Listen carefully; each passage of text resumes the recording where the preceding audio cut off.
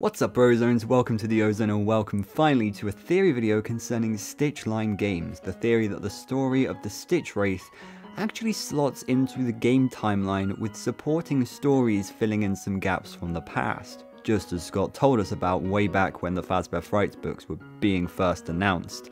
This is a theory that personally I have believed for a very long time, while many others frown at. Today I want to talk a little bit about a problem I've had with this theory and how it could potentially be solved. This video is actually going to be split up into two parts. The first part only requires you to have read the Fazbear Frights, but the second part actually contains information regarding the first epilogue of the Tales from the Pizzaplex series. You can watch the first part of the video and then come back once you have read the epilogue. The story of the man in room 1280 is, as you probably already picked up on, the story of William Afton during his torment in Ultimate Custom Night. The story told us that the souls responsible were keeping him alive in an induced nightmare for years after the events of Pizzeria Simulator in 2023. The events of this story make complete sense to be part of the main game timeline. Afton's body was found in the fire, only to be brought to Heracles Hospital and found to be alive. And we know that Afton's body was found by someone because he eventually makes his way into the VR game as Glitchtrap. That brings us nicely to the final part of the Man in Room 1280, where we see Afton at the Fazbear Distribution Centre, who baths up a liquid and collapses to the floor. At that point, Afton's, Cassidy's and Andrew's agony and souls are put into the VR game, the AR animatronics, and various threats that we see in the Fazbear Fright series. This leads to FNAF VR with Princess Quest and the Stitch line with the Agony. All of that would have been completely fine if it wasn't for the release of Security Breach. In Security Breach, we find out that Afton still holds a physical form by the name of Burntrap, and that coincidentally, he resides in the pizza place, which is the exact same place we saw him in Pizzeria Simulator. So who's to say he ever even went to Heracles Hospital? Why can't he have just been laying there for years until Vanny came and rebuilt him? So here I see two main problems. Number one, Afton in Security Breach is extremely different to how Afton looks in Pizzeria Simulator and how he is described to look in The Man in Room 1280. Here, he appears to literally be a full-on robot entangled in human flesh and organic material. And number two, the last time we see Afton in the Stitch line, he is drowning in a lake as the agony with the puppet.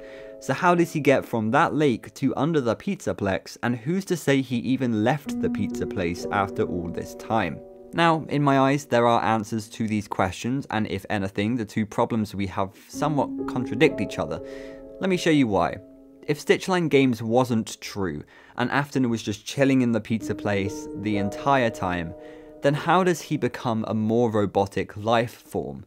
And if we're saying that he does transfer into a new robotic body, then how come there is still organic human material scattered across his body? Additionally, if this were to be a new body, why would he even be called Burntrap? Here's what I think. I believe Afton's body was in fact taken out to Heracles Hospital. Whether you believe Stitchline Games or not, I don't think that you can deny that Afton was found and was transported out of the pizza place. I think that the ending of The Man in Room 1280 gives an incredibly strong explanation for Glitchtrap and Cassidy's digitalized form in Princess Quest. But I also believe that Afton's real body is now gone. Burntrap doesn't hold Afton's body like Springtrap and Scraptrap did. Instead, Burntrap holds Afton's consciousness through his connections with Glitchtrap. His robotic form was potentially built by Vanny with the use of Glamrock Bonnie's parts, and his power comes from draining the energy of the Mega Pizzaplex.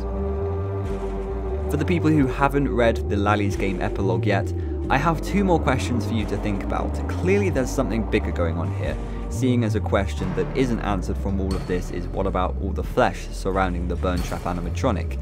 And on top of that, we should probably address what on earth is going on with the blob. And these are actually things I actually want you to think hard about before reading Lally's game. But for those of you who haven't read the epilogue, this is the end of the video for you. Make sure you come back later once you have read it. Thank you so much for watching, and for anyone who knows what happened in the first epilogue, let's get into some juicy lore.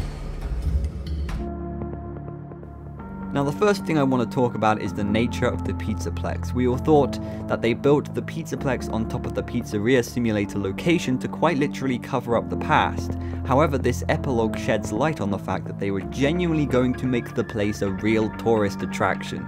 They decide to clean the place, get rid of all of the endos inside, and build the Mega Pizzaplex right on top of it. This sort of thing has me thinking if they even went as far as conserving the real living room that we see in sister location, just so that they can make it a tourist attraction. And before we go on to Burntrap, I have a feeling that all of these endos that are being thrown out into a massive pile of garbage are going to eventually become the blob, especially knowing what happens later. So in this epilogue we are introduced to a bunch of shiny endoskeletons except one, which looks like it has previously been caught in a fire except the skull. It seems to be a rabbit animatronic and it sounds as though it was intended to be a guitarist, but apparently the endoskeleton looks a lot more complex than the others, which look like human figures. Now, a lot of people are claiming that this is Burntrap. I think there's a possibility we could be mistaken, just like how in Fazbear Frights we thought that the Stitch Wraith was Ennard. However, for the sake of this video, let's assume that this is an endoskeleton who ends up becoming Burntrap. The first thing to note is that this was actually a delivery to the pizza place, meaning Afton definitely didn't just stay here the whole time.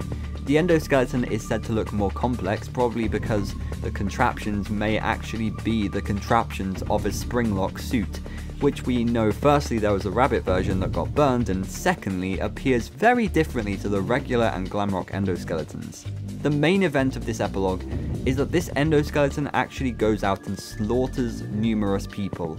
Maybe these people will go on to possess the blob, knowing their parts are also being thrown into the scrap heap, but also, what if the flesh on Burntrap isn't actually Afton's flesh? What if it is the flesh of his victims? In my personal opinion, this makes Burntrap 10 times more scarier than he already is, and overall just better. I really hope they do explore the Burntrap route because for sure, we need clarification on the events between the Stitch line and Tales line or whatever you want to call it.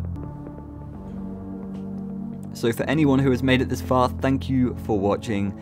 The question we need to consider going forward is essentially just who is this endoskeleton? It's a partly burned rabbit guitarist with a more substantial endoskeleton. So what are its origins? Anyway, let me know what you think in the comments below and I will see you in another video. Goodbye.